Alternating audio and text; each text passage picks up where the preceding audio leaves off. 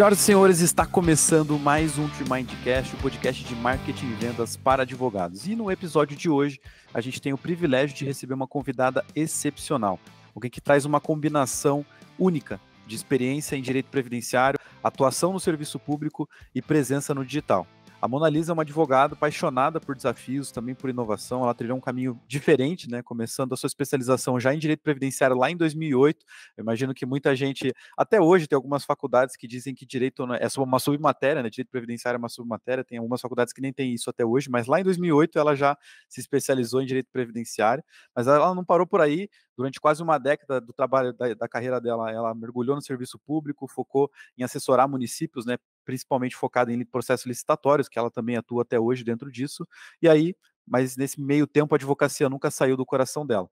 E aí em 2020 a Mona Lisa retomou essa paixão pela advocacia, abrindo o seu escritório e concentrando-se principalmente na área previdenciária, com destaque para atuação com BPC Loas. É, mas a pandemia também trouxe outras oportunidades dentro desse meio desse meio tempo e com isso surgiram muitos cancelamentos de voos, mudanças nesse cenário é, para o consumidor e ela também se lançou no mundo digital explorando o direito do passageiro e, é, e, tem um Instagram específico que depois a gente vai deixar aqui no link da descrição que é o Advocacia do Passageiro e isso se tornou uma grande fonte né, de novos clientes em vários estados do Brasil e por ser 100% digital, ela já se lançou é, com clientes em vários estados. Eu acho que ela vai contar um pouquinho para a gente de como ela conseguiu fazer isso, paralela à própria advocacia previdenciária, e eu acho que vai trazer muitos insights aí para vocês que pretendem também seguir um caminho parecido com esse. Então, Mona Lisa, sem mais delongas, muito obrigado por ter aceitado o nosso convite e participado aqui do nosso bate-papo de hoje. Seja muito bem-vinda. Obrigada, Vitor. Obrigada a vocês pelo convite. Boa. Então vamos lá. Bom, Mona Lisa, como eu te falei, né, o nosso primeiro objetivo é entender um pouco mais quem é a Mona Lisa, como ela surgiu dentro do direito, como que existe essa relação do direito com você. Então, primeiro, dá um contexto para todo mundo, como que começou a tua relação com o direito diretamente, porque lá em 2008, quando você saiu da faculdade, você já escolheu o direito previdenciário para se especializar. Conta um pouco mais então da tua trajetória no início, o início dela propriamente dito, para a galera te conhecer um pouco mais também. Tá, é, inicialmente quando eu me formei, surgiram oportunidades oportunidades de advogados conhecidos para atuar aqui no Rio Grande do Norte, o escritório era do Ceará, e para atuar aqui no Rio Grande do Norte na parte previdenciária. E era uma área que eu realmente assim não tinha tanto domínio na faculdade a gente viu bem de forma superficial, mas eu vi uma boa oportunidade, demandas boas, é, com um bom retorno, e aí fiz especialização e desde então tenho atuado nessa área, sempre em parceria, porque é, a gente fala direito previdenciário, mas assim é um mundo de ações, tem a gente trabalha com revisões, com aposentadoria, com programação de aposentadoria e com benefícios assistenciais, então assim é, existe um leque de dentro do direito previdenciário para que a gente pode trabalhar. Então, consequentemente, quando você escolhe algo específico dentro daquela área, é bom que você tenha outros colegas ou parceiros que atuem é, também nessa área em outras, em outras situações para que a gente possa absorver é, o maior número de clientes possíveis. Legal, show de bola. É, o direito previdenciário a gente sempre vê, eu, eu sempre gosto de olhar para ele como uma das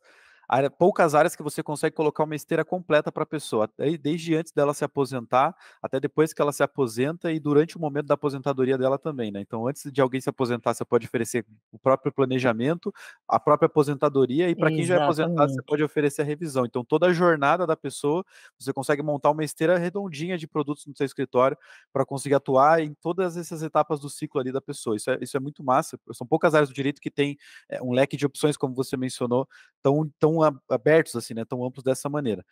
É, e agora falando um pouquinho da tua atuação no seu escritório, quando você abriu, a gente fala 2020, parece pouco tempo atrás, mas isso já vai fazer quase cinco anos, né? Então, assim, é, é bastante Sim. tempo já. Então, a gente sempre gosta de lembrar do dia zero, né? Eu sempre gosto de trazer essa, essa, essa pauta para falar com os convidados, porque o dia zero é sempre uma loucura, né? A gente nem imaginava que ia virar o que virou hoje em dia, aquilo que a gente faz e como a gente está trabalhando da maneira como a gente trabalha hoje. Então, como foi o teu primeiro dia Mona Lisa, quando você decidiu, então, é, abrir o teu escritório, o que, que você olhou e falou, cara, quer saber, eu vou abrir meu escritório. É, como que foi o dia zero para você, o teu primeiro dia? É, na verdade, eu vi a oportunidade, como eu falei, né? Antes eu já, já trabalhava no serviço público, em outra área, na parte de licitações.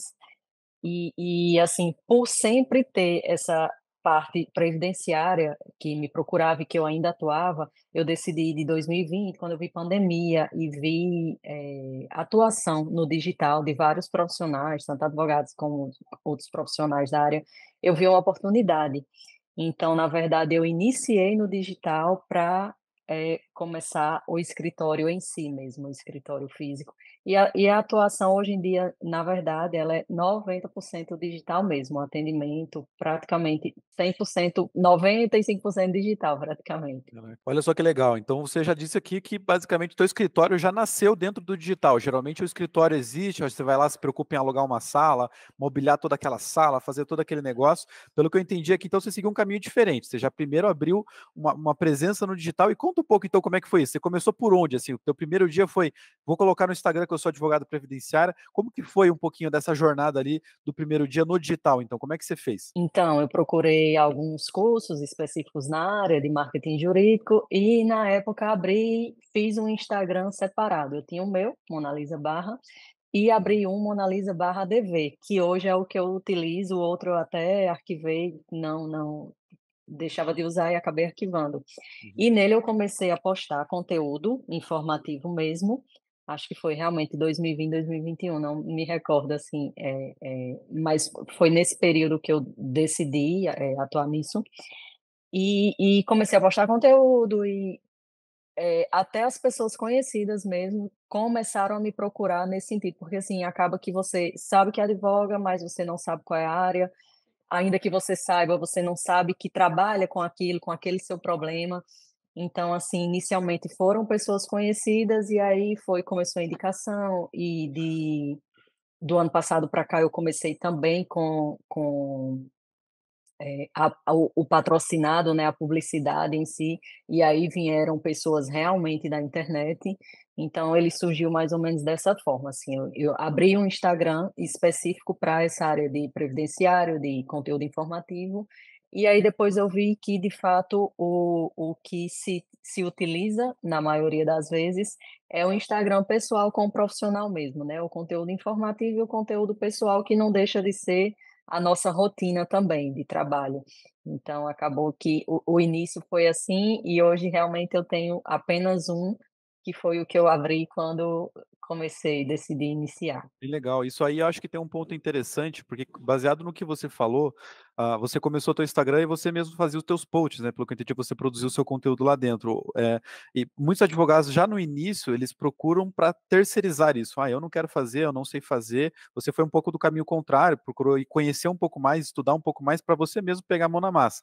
Às vezes é por necessidade, né? Alguns advogados fazem isso porque não tem um caixa estruturado para conseguir bancar o um investimento terceiro, né? alguém para fazer isso para eles. Mas no teu caso, você já estava 10 anos no mercado, né, trabalhando com serviço público, então imagino que você poderia ter até uma reserva, alguma grana ali para tentar terceirizar. Por que, que você escolheu o caminho de você mesmo pegar o Instagram na mão e fazer ele propriamente dito você, e não talvez contratar alguém para fazer, por mais que você tenha feito isso talvez mais para frente, mas no primeiro momento, o que, que te deu na cabeça de não terceirizar logo de início, fazer você mesmo? Pela facilidade? O que, que você acha que foi? Então, é, se a gente parar para pensar, quatro anos atrás, mas era bem no início.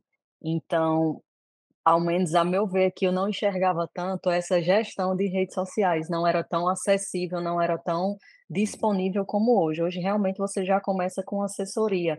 E não que não fosse acessível de você não poder contratar, mas assim, era algo que era um pouco distante. Né, principalmente aqui no Nordeste, a, a gente agora que está que tá iniciando, não que, que é, eu queria fazer uma, uma discriminação, uhum. mas eu falo nesse sentido, de, de realmente era algo que não, no meu ponto de vista, não existia ainda naquele tempo a gestão de redes sociais, existia a produção de conteúdo, a criação de artes, que eu podia terceirizar, que hoje realmente até a gestão, a publicidade, tudo, a gente consegue é, contratar. A gente fala um período assim de quatro, cinco anos, mas eu entendo que, que é um, são passos que, apesar de longos, mas há quatro anos atrás não era como é hoje, sabe, Hum. progrediu bastante o Perfeito. mercado digital. Legal, show de bola, perfeito. E aí como é que você equilibrava essa rotina, né, porque você fazer o seu conteúdo é é é é muito legal, é é uma coisa que é é aquela coisa sexy, aquela coisa apaixonante de você: "Nossa, vou fazer um post muito legal", você tem uma ideia mirabolante, aí você vai lá e faz a pauta e tudo mais.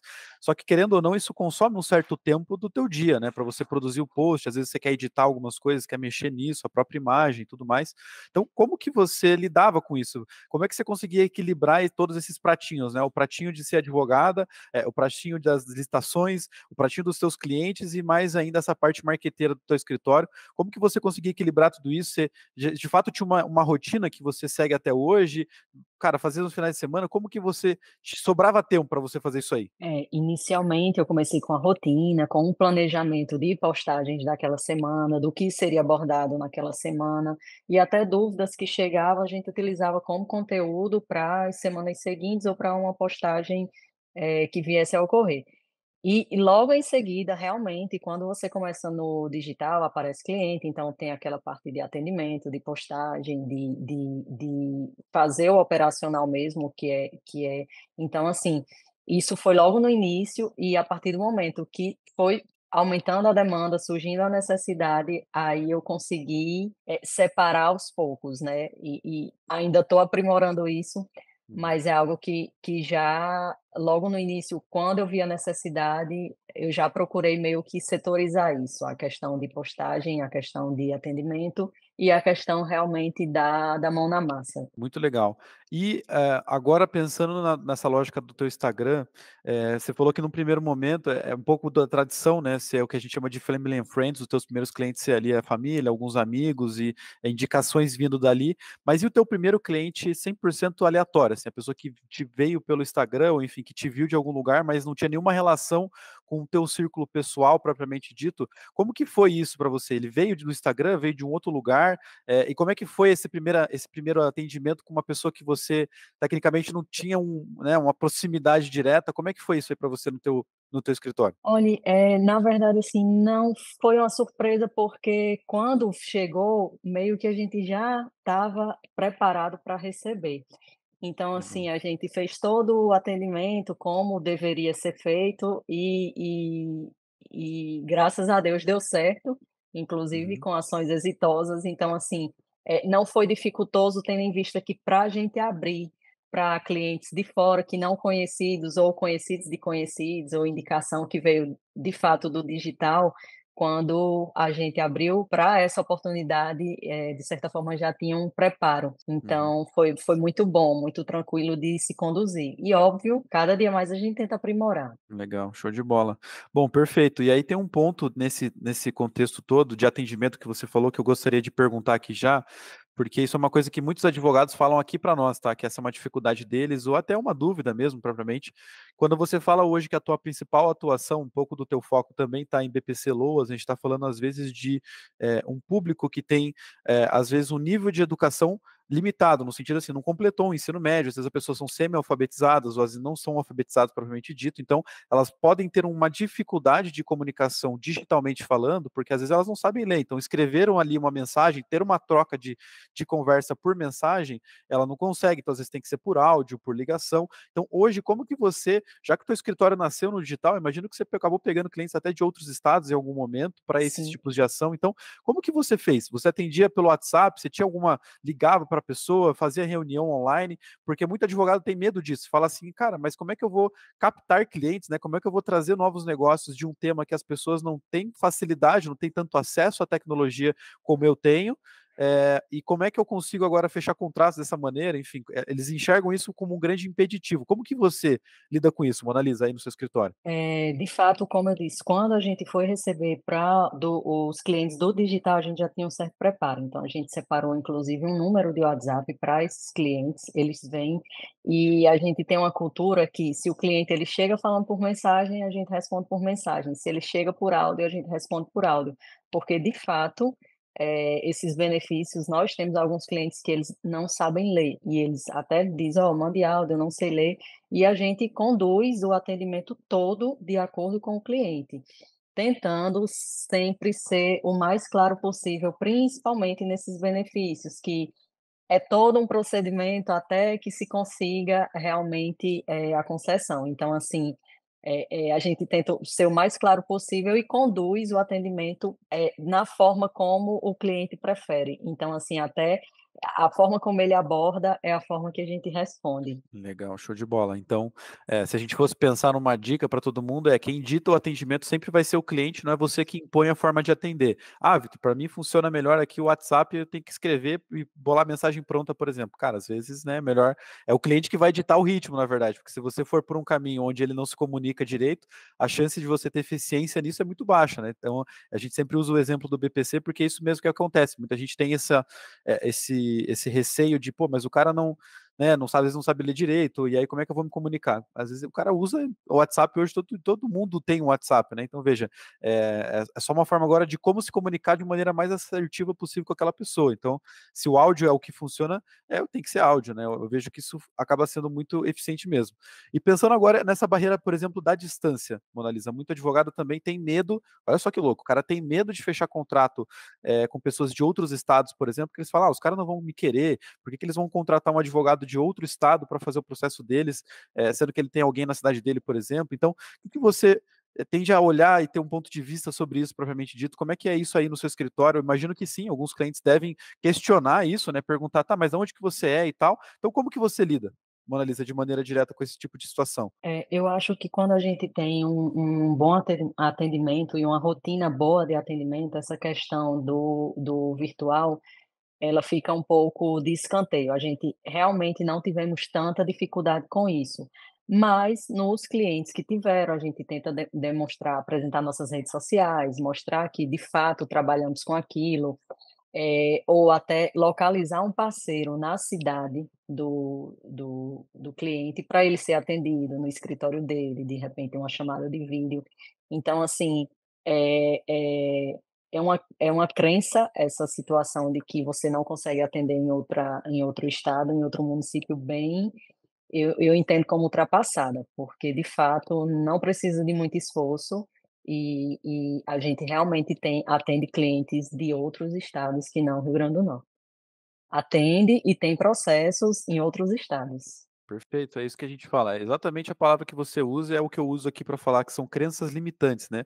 A pessoa acredita naquilo, só que aquela própria crença limita ela a tomar uma atitude ou tomar uma ação que faça com que ela consiga superar esse desafio. E aí você sempre vai estar preso na sua bolinha, né, você sempre vai estar preso ali na sua cidade ou nas cidades próximas, no teu estado, se você acredita que isso nunca vai funcionar para você. E se você né, aquilo que eu falo, aquele que o advogado acredita é o que vai funcionar para ele. Se eu acredito que eu não vou conseguir captar clientes por de outros estados, eu estou certo, eu não vou conseguir captar cliente de outro estado, mas da mesma forma vale para o contrário. Se eu acredito que eu consigo atender o Brasil inteiro, em algum momento eu vou conseguir atender o Brasil inteiro. Então é mais uma questão de acreditar nesse sentido de não se limitar a isso, né, porque de fato é só um é só um um pedregulho que você consegue convencer, né, como você falou, mandar rede social, você fazer o próprio Google Meu Negócio, que você mostra que a pessoa tem avaliações, tem outros clientes que já viram isso, e você começa a usar outros tipos de ferramentas que o digital te proporciona para justamente passar confiança.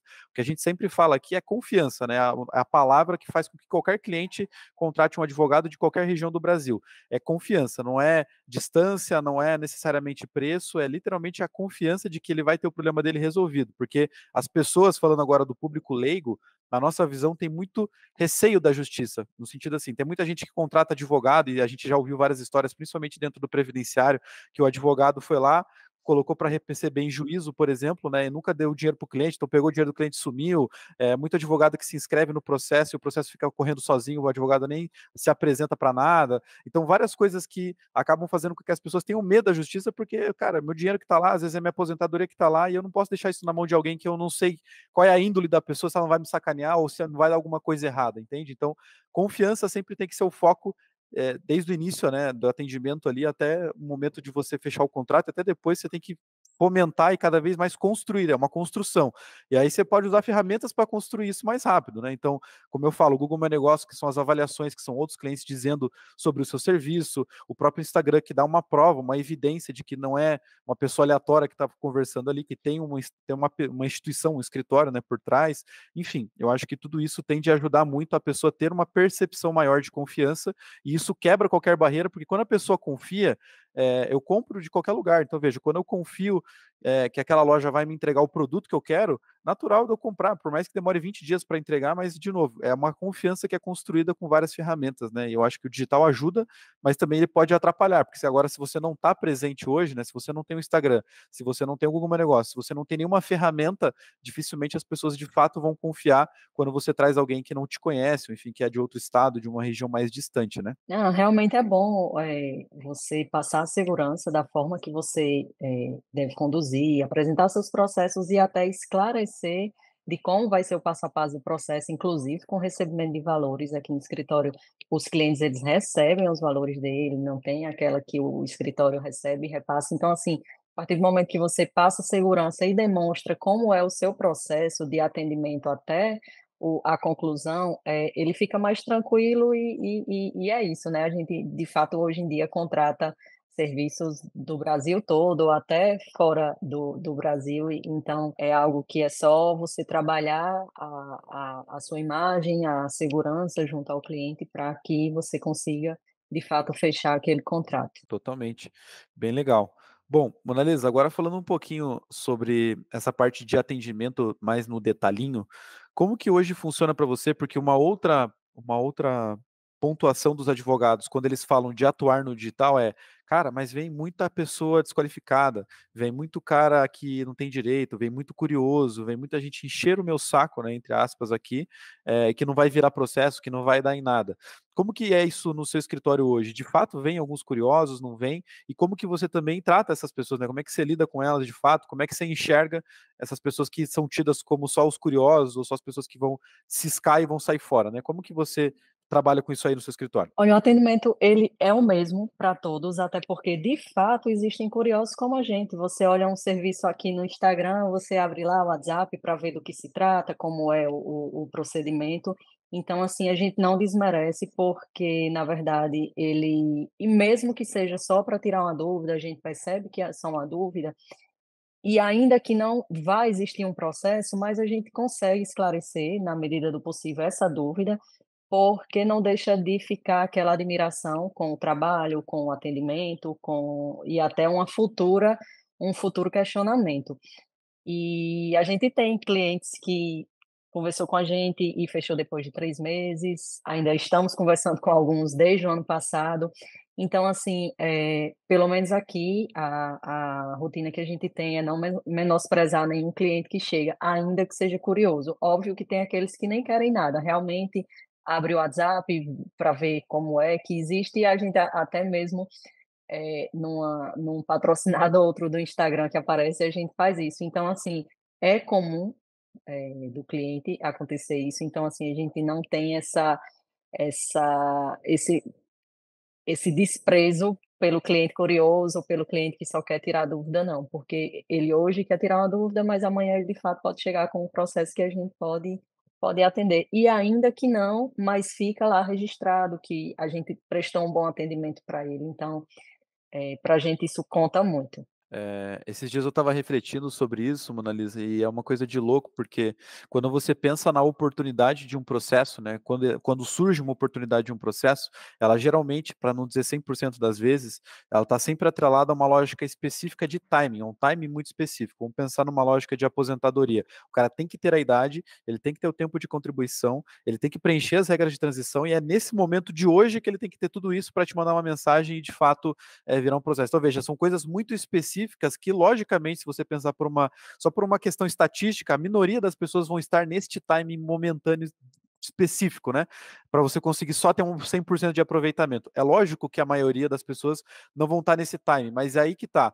É, essa oportunidade ela não foi cultivada ainda, às vezes, né? Então, por exemplo, putz, o cara chegou, mas faltam dois anos, um ano, um ano e meio, sei lá, para o cara se aposentar. Isso vira tanto base para você alimentar essa pessoa e no momento certo chamar ela, mas ao mesmo tempo também serve para você oferecer outras coisas. Veja, porque o que às vezes frustra muito o advogado é esse cara não quer comprar o que eu tenho para vender. Mas veja, o que eu tenho para vender não necessariamente ele de fato vai poder comprar, mas eu posso ter outras coisas que eu posso oferecer que ele compraria. Então, é você ter mais preocupado em ter o que oferecer para essa pessoa no momento que ela for for desqualificada para aposentadoria ou para qualquer benefício que você ofereça, e ter outra coisa para oferecer para ela que pode ajudar ela também a resolver o problema dela naquele momento, por exemplo, e aquele timing daí sim ter uma oportunidade para ser desenvolvida naquilo. Então, é, é, isso que eu sempre falo, cara. É, muito advogado precisa, às vezes, sair um pouquinho da lógica jurídica, porque Vai comprar um carro para você ver se o cara te deixa sair da loja de carro sem comprar, pelo menos ver uns três, quatro carros diferentes se você não gostou do primeiro. Cara, ele vai ter alguma coisa para te oferecer, por isso que ele já te pergunta: para que, que você quer comprar o carro? Cara, eu quero comprar o carro porque eu tenho filho e não sei o que, não sei o que, não sei o que. Aí ele já pensa em 10 carros que tem no estoque lá para conseguir encaixar na tua necessidade. Geralmente você veio procurando um só, mas ele vai fazer você passar por esses 10 para você ver se realmente não é um outro que pode encaixar ou no teu orçamento ou na tua necessidade de uma maneira mais completa. Então veja, é literalmente você não deixar a oportunidade passar batido, porque toda vez que vem uma pessoa e uma curiosidade, por mais que às vezes a curiosidade é, não remeta necessariamente a um direito adquirido da pessoa, mas uma curiosidade é uma oportunidade de conversar com essa pessoa e cavar ali dentro outras oportunidades, né? E de fato você conversar com essa pessoa é só assim que você consegue ter esse mapeamento, você saber é, um pouco mais de contexto, ter um pouco mais de contexto para que você possa falar, olha, Talvez isso aqui para você não faça sentido agora, mas existe isso daqui que agora pode fazer muito mais sentido, inclusive vai te ajudar nisso, nisso, nisso, naquilo outro. Então, é isso que as pessoas procuram, na verdade, né? Quando um, um leigo procura um advogado, ele procura orientação. Então, lógico, você vai orientar ele, claro, vai dizer o que tem que ser feito e tudo mais, mas por que, que você já não fala que você faz isso também, né? Tipo, orientando, literalmente, guiando a pessoa, falando: olha, meu conselho para você não seria seguir por esse caminho por conta disso, porque isso pode te prejudicar dessa e dessa e daquela maneira, e você tem esse outro caminho aqui que pode te beneficiar dessa dessa, dessa maneira. Coincidentemente, eu faço isso também e funciona assim, assim, assado. Você não quer bater um papo sobre isso daqui, que eu acho que para agora é o que mais vai fazer sentido para você. Isso é o que a gente chama de venda consultiva, né? Quando você de fato para de ser um vendedor que empurra serviço, que empurra goela abaixo um produto no cliente e você passa agora a de fato ajudar ele dando uma consultoria para a pessoa, literalmente, aquilo vira uma venda. A própria consultoria que você faz faz com que a pessoa depois compre de você, né? Compre no sentido contrate. Né? Faz sentido isso, Monalisa? Como é que você enxerga esse ponto de vista? Total, e até para gerar uma confiança no cliente. A partir do momento que você não dá toda uma orientação, ainda que não tenha fechado, é, ele vai ter aquilo é, possivelmente na hora de, de escolher, na hora de escolher, porque a gente sabe que hoje o digital a gente tem um leque de opções. Então, assim, é, vai pesar o bom atendimento, vai pesar a boa consultoria. Então, ainda que ah, não tenha interesse agora, é daqui a um mês, mas assim, qualquer atendimento é, é, que tenha um mínimo de, de qualidade, um mínimo de diferencial com relação ao outro, é, vai fazer diferença na, no, na escolha do, do cliente para contratar seu escritório, inclusive com relação à parte de consultoria, porque ele vai sentir segurança que você de fato tem conhecimento daquelas informações, tem conhecimento do trabalho que ele precisa. Totalmente. Bom, bem legal.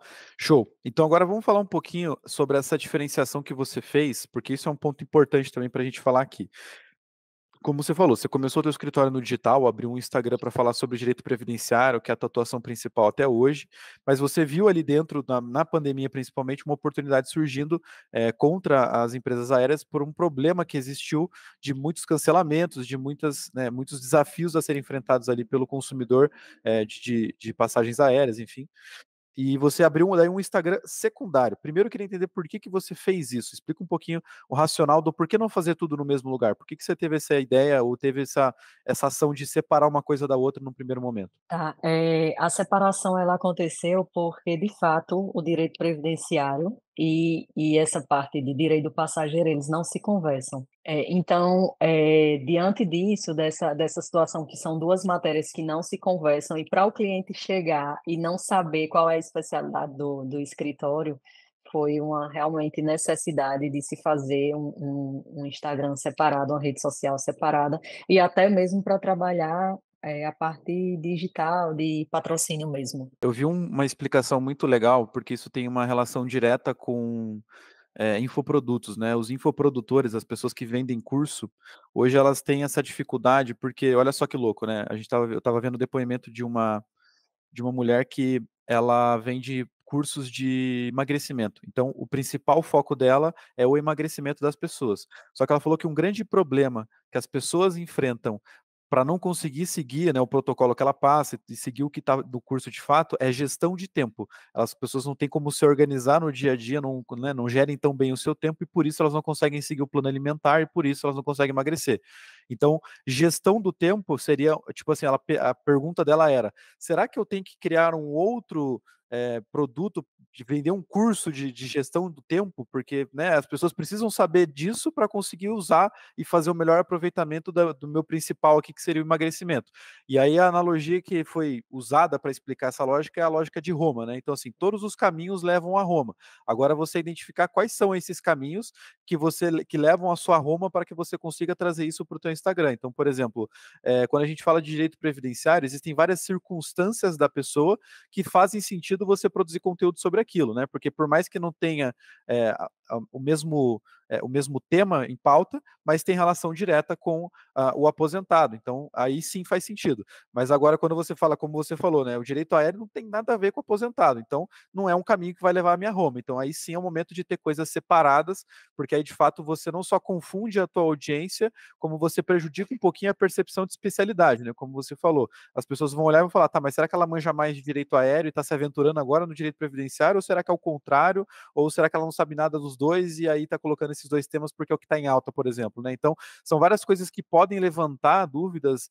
desnecessárias por se você tivesse dois Instagrams separados, isso já não, não aconteceria mais né, de maneira direta. Então, essa desassociação a gente consegue ver até em marcas, né? Marcas grandes, por exemplo, é, que ela cria uma marca para atender um certo público, né? Então eu estava vendo o case hoje, por exemplo, da Volkswagen. O grupo Volkswagen tem tanto a Volkswagen como, como né, marca guarda-chuva, dentro desse guarda-chuva, mas também a Porsche. A Porsche também é uma marca do grupo Volkswagen. Agora veja, um Gol que custa 70 mil e uma Porsche que custa um milhão de reais. É da mesma empresa, entende? Só que, lógico, a marca Porsche tem uma linha de, de estratégia, uma linha de posicionamento de mídia totalmente oposta da linha Volkswagen, porque são públicos diferentes, por isso tem duas marcas diferentes, né? Então, isso tende a fazer muito sentido também na advocacia, quando você fala de produtos ou até mesmo de atuações que não tem nexo. Então, por exemplo, é, para ficar mais claro para o contexto jurídico, eu trabalho com aposentadoria.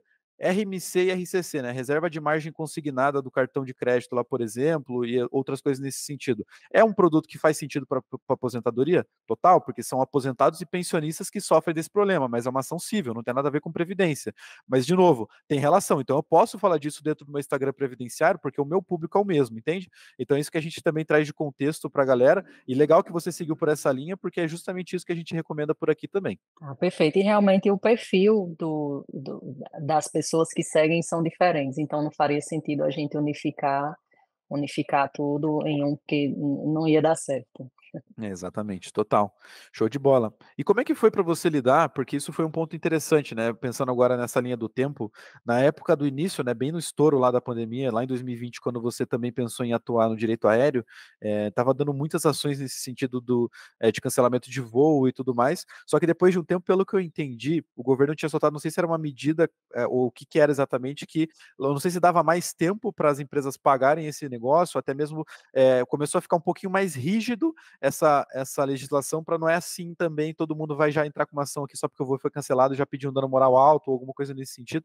Então, como é que foi isso para você? Realmente teve uma alta e depois veio declinando, continua em alta isso? Como que você enxerga agora essa, essa, esse tema específico né, dos problemas aéreos? Tá. Não, o direito ele existe, ele existiu naquela época, existia antes da pandemia e existe agora. Na pandemia, o que aconteceu foi é, a criação de lei para que voos compreendidos em certa data, é, as companhias aéreas, elas de fato tinham um prazo maior para reembolsar, para remarcar, tendo em vista a pandemia. Mas, assim, o direito do passageiro, tanto na pandemia, inclusive antes e agora, ele é o mesmo, com relação a atraso de voo, com relação a cancelamento, com relação ao extravio de bagagem, mala danificada. Então, assim, é, o direito é o mesmo. Na época da pandemia, teve a situação de que é, é, tinha esse prazo maior. E teve um boom porque, devido à pandemia, ocorreram muitos cancelamentos de voos. Então, assim, as pessoas procuraram se preocupar naquela época, ah, meu voo foi cancelado, meu voo foi cancelado, não posso ficar no prejuízo, começaram a se preocupar e procurar. Só que, assim, é um direito que realmente ele já existia antes da pandemia. O que acontece é que a, a Aconteceu com muitas pessoas nesse tempo E não deixa de estar tá acontecendo hoje em dia também, bastante, diariamente, assim, é, em todos os aeroportos, na maioria onde você vai, pode ver voo atrasado, cancelado. Então, assim, é algo que realmente ainda existe, sabe? É, a diferenciação da pandemia foi só devido a um fato específico e agora as companhias não, não podem mais se utilizar, inclusive, dessa situação do Covid, que, enfim, já passou. Olha que louco, né? Porque isso tem um insight que é necessário extrair, né, do que você falou, mas eu vou fazer esse papel hoje para a galera que está ouvindo, né? Vou dar mastigado, que é o seguinte: olha só, quando você vai escolher um tema para atuar, olha que louco, você pode aproveitar um hype, né? Como foi na época da pandemia, onde tinha muitos cancelamentos, muitos problemas de voo. É, só que o que acabou acontecendo principalmente foi que é, talvez o direito não fosse perene. Então, por exemplo, a revisional do PASEP é um tema que hoje está em alta, tem muita gente falando sobre esse assunto, está dando ações nesse sentido, só que isso está lá em votação ainda, né? Está em revisão isso, pelo, se não me engano, pelo, pelo pelo Tribunal Superior. É, então é uma provável chance de que esse direito por si só ele não permaneça da maneira como está sendo julgado hoje. Então veja, isso pode mudar muito rápido. Então não é uma tese tão perene. Você pode surfar nesse hype, mas você pode cair do cavalo muito fácil.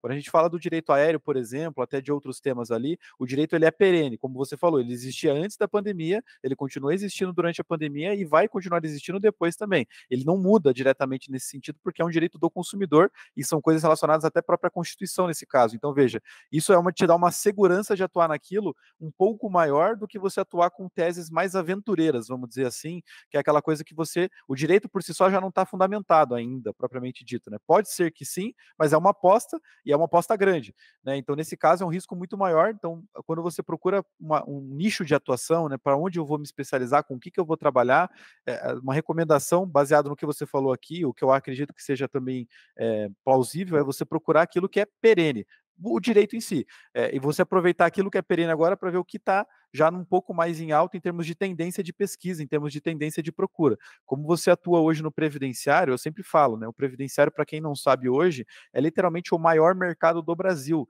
em termos de atuação, porque nós estamos falando, juntando, óbvio, né? Benefícios por incapacidade, aposentadorias, toda a população que teria direito a algum desses tipos de benefício, está falando de mais ou menos 60 a 66 milhões de pessoas.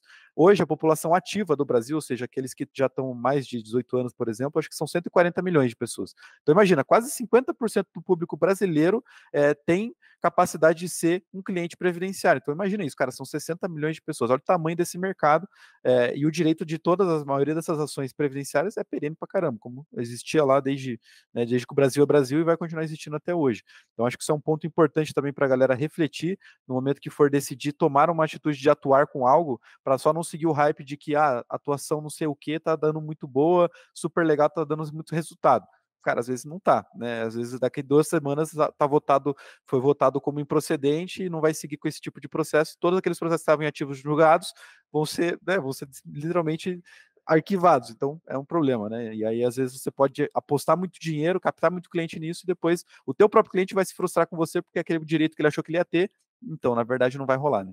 Total. E isso se aplica inclusive também para o direito do passageiro quando a gente fala nessas ações de é, um, dois, três milhas, não sei se podia falar aqui. Uhum. Mas, enfim, é, tivemos um problema, tivemos um problema com ela e com o Urbi também, antes dela. A 123, ela hoje, ela está na recuperação judicial. Então, assim, a gente, apesar de ter exitosa ação de reembolso de valores de indenização, a maioria dos processos ainda não conseguem, o cliente não consegue reaver aquele valor. Então, assim, no direito do passageiro também existe. Nada impede que você é, faça essa ação, trabalhe com isso, tenha aquele cliente na sua é, é, carteira de clientes, mas, assim, realmente não tem como você só focar em ações dessa forma, porque pode dar muito certo e pode dar muito certo só por um, por um tempo, né? Então, de fato, a gente precisa ter, ter um leque dentro de cada, de cada ação que a gente tenha. Esse, esse caso, inclusive, da, da, do 2, 3 milhas era uma coisa de louco, porque só os processos que a 1, 2, 3 milhas teria, receb, teria a pagar era uma dívida de mais ou menos quase 500 milhões de reais. Imagina, meio bi para pagar de uma empresa. Assim, nós estamos falando de, de uma empresa que tem donos, são CNPJ, são pessoas ali dentro que, cara, é, puta, da onde que esse cara vai tirar meio milhão, meio bilhão de reais para pagar essa galera? Então, assim, isso já se torna a própria ação ali um pouco mais improvável do ponto de vista agora técnico, né? Você olhar para aquilo e falar, cara, beleza, existe o direito sim, no caso, mas, puta, para receber esse dinheiro aqui vai ser um pouquinho difícil, talvez é, não vai ser tão simples assim, né? E muito advogado, às vezes, comete o erro de que é, de querer vender a qualquer custo. E aí oferece para o cliente uma promessa de que não, vai dar tudo certo e confia que, que o pai resolve e, putz, na verdade ele não tem certeza disso, né? A própria ação já apresentava um risco muito alto nesse caso, né? Nesse caso, a gente inclu... até aconselha o cliente a entrar com a ação, mas deixa ele bem ciente de que é apenas uma chance, né? Uhum. Infelizmente, a gente não tem como dar garantia de nada. Né? Um processo, a gente faz o melhor e espera o, o julgamento dele com base no nosso trabalho. Mas a garantia realmente não depende da gente. Mas, assim, a gente até aconselha mesmo o cliente, porque não deixa de ser uma saída para ele recuperar os valores, mas sabendo que é algo que, de fato, não temos hoje previsão nessa situação específica. Show de bola. Bom, Mona Lisa, vamos lá. Agora, para falar um pouquinho para a galera é, entender sobre o, o, teu posicionamento dentro das redes sociais, que foi por onde você começou e está presente até hoje. Tenta desenhar para a gente assim numa linha do tempo, porque você começou com conteúdo, a gente entendeu essa lógica.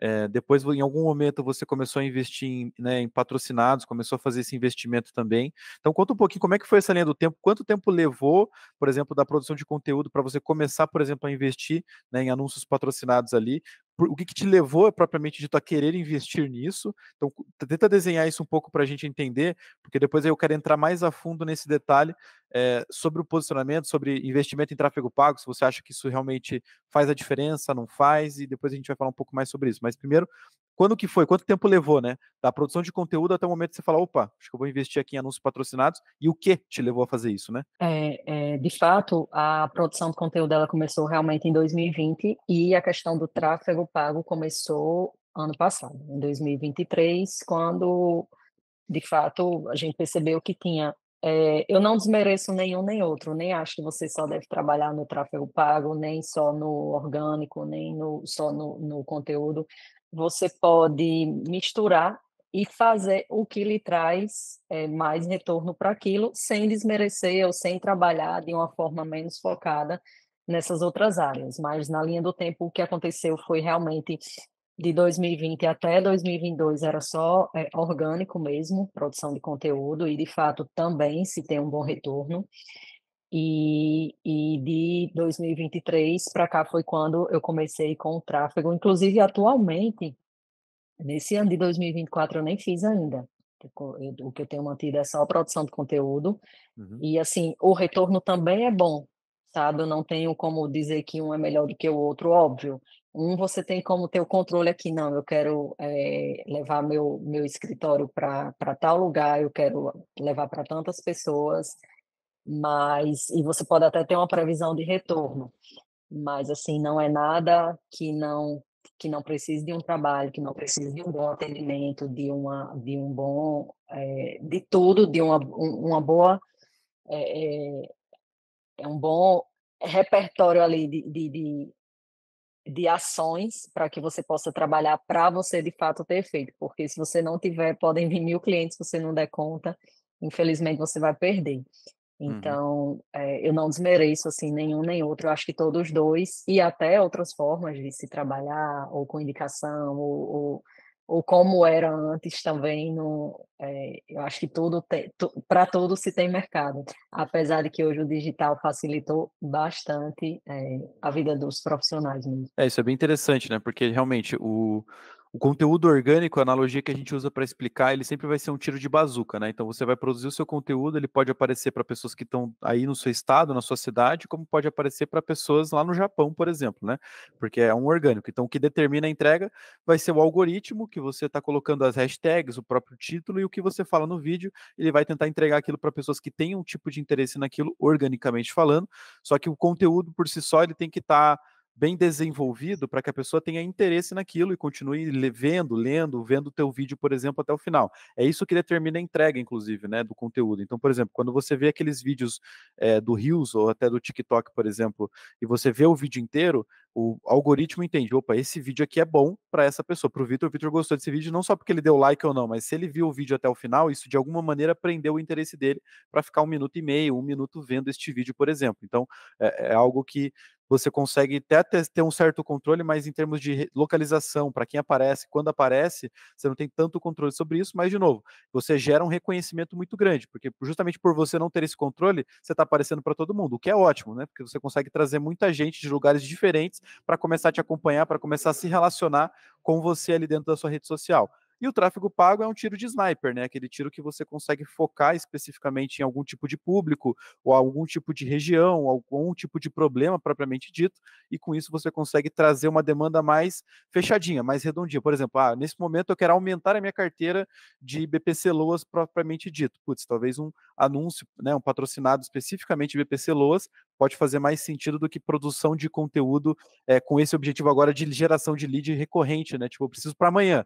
Às vezes o conteúdo orgânico não funciona assim. Ele roda uma semana, ninguém vê. Passou duas semanas, daqui a pouco bomba o negócio, começa a aparecer um monte de visualização é, e por aí vai. Então, é uma coisa um pouco de louco. Eu também concordo que tem que ter um equilíbrio entre essas duas coisas, porque o anúncio pago hoje, ele não depende de produção de conteúdo. Mas agora imagina, você aparece para uma pessoa que não te conhece através de um anúncio. Ela fala: "Gostei desse advogado, deixa eu clicar aqui para ver o perfil dele". E aí não tem nenhum conteúdo, porque agora o patrocinado não é aquele que aparece no feed, né? Não é aquela aquele post que você fez, ele vai ter vinculado de uma outra frente. Então não aparece no teu feed como um post. Aí o cara entra, não tem nenhum post, ele fala: "Que coisa estranha, será que esse advogado, será que não é um golpe criar essa rede social para fingir que é um advogado só para pegar dinheiro dos velhos?", né? Então é, é uma coisa que pode eventualmente acontecer e eu acho que é legal ter esse equilíbrio porque você usa o tráfego pago como uma isca, né? Traz o cara para dentro do teu barco, que é o teu Instagram, mas você tem um barco, que é um Instagram literalmente com posts, que tem ali uma estrutura para a pessoa né, olhar e ver que você realmente é um profissional capaz e especialista naquilo que você está falando, né? Ah, tá. Show de bola. Bom, e para a gente então caminhar para uma reta final, Monalisa, que tipo de advogado hoje, na tua opinião, você acha que tem que estar no digital? Você acha que tem algum advogado hoje, alguma que atua em alguma área que talvez não precise estar no digital? Como que você enxerga isso? Olha, é, como eu falei, Vitor, eu não desmereço quem não está no digital, mas hoje quem está no digital está um passo à frente.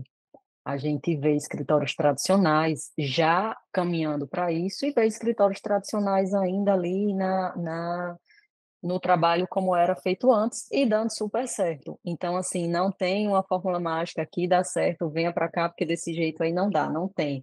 É a forma como se trabalha e existem tentativas, mas, de fato, o digital hoje, principalmente para quem está iniciando também, é, é, uma, é uma excelente oportunidade para quem está se formando, para advogado iniciante, é, é uma excelente oportunidade, porque de fato você tem seu escritório ali à disposição de, de, de, várias pessoas ou até de quem você quiser. Totalmente, eu concordo muito com isso, porque quebrou muitas barreiras, né? Se você pensasse lá em 2008, né, quando você começou, que mal tinha internet de escada naquela época, então como que a gente ia conseguir captar clientes de outros estados acabando de sair da faculdade né, lá em 2008, isso era um cenário muito irreal, né? Sim, total.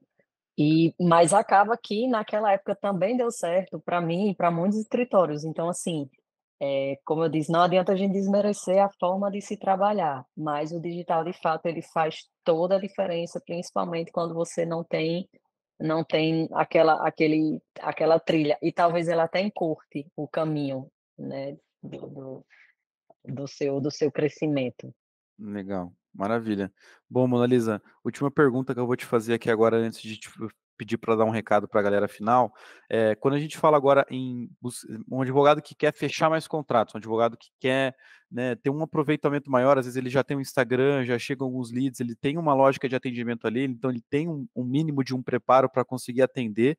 Só que ele fala, cara, eu queria saber como que eu faço para conseguir fechar mais contratos, né? Como é que eu consigo para ter mais eficiência nisso? Então, hoje, pensando dessa maneira, para você, Mona Lisa, o que, que, você acha que um advogado que busca né, fechar mais contratos através da internet precisa fazer e ter em mente, propriamente dito? É, na verdade, eu acho que, de fato, para ter uma melhora, você precisa ter é, já um preparo do que, do que você de como você deve atender o cliente, de como você deve conduzir aquilo.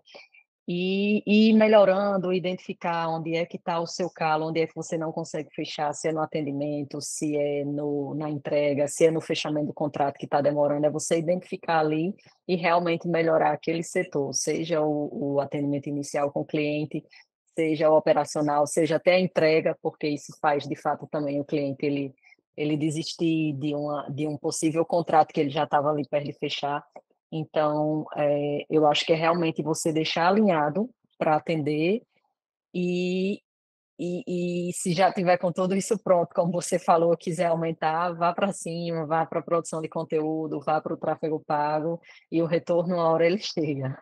Maravilha, então, Mona Lisa. É, para a gente então caminhar agora, de fato, para o final, eu queria que você desse um recado né, para essa galera que está ouvindo a gente, como se você pudesse agora escrever uma mensagem na pedra que todo advogado vai passar na frente dessa pedra, vai ver isso daqui dois anos, daqui dez anos, enfim, tá lá gravada a sua mensagem nessa pedra. Que mensagem que você daria, que tipo de recado você gostaria de dar para a galera nesse sentido para, enfim, de fato otimizar o trabalho deles? Ah, o recado que eu dou é trabalhe bastante, estude, estude sobre o que você quer, o que você quer entregar, estude sobre o serviço que você quer prestar estude sobre essa entrega, estude sobre o mundo digital, porque isso também vai fazer diferença.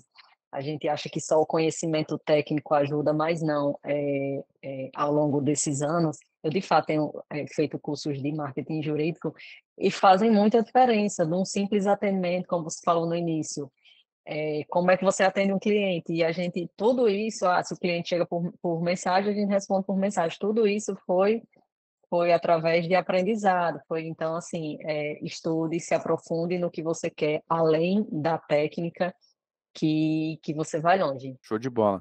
Bom, pessoal, então a gente vai ficando por aqui. Eu vou deixar depois as redes sociais da Mona Lisa, né? A própria rede social que ela faz do direito do passageiro, né? Especificamente a advocacia do passageiro, nós vamos deixar aqui no link da descrição, tanto no YouTube quanto no Spotify, para você poder conhecer um pouco mais.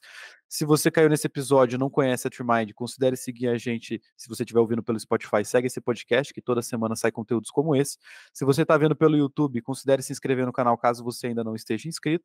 E lógico, se você não conhece a gente também lá no Instagram e não segue a gente, considere seguir TreeMind Underline Tech. No mais, vamos ficando por aqui. Obrigado pela sua audiência. Foi um prazer. Um abraço e valeu!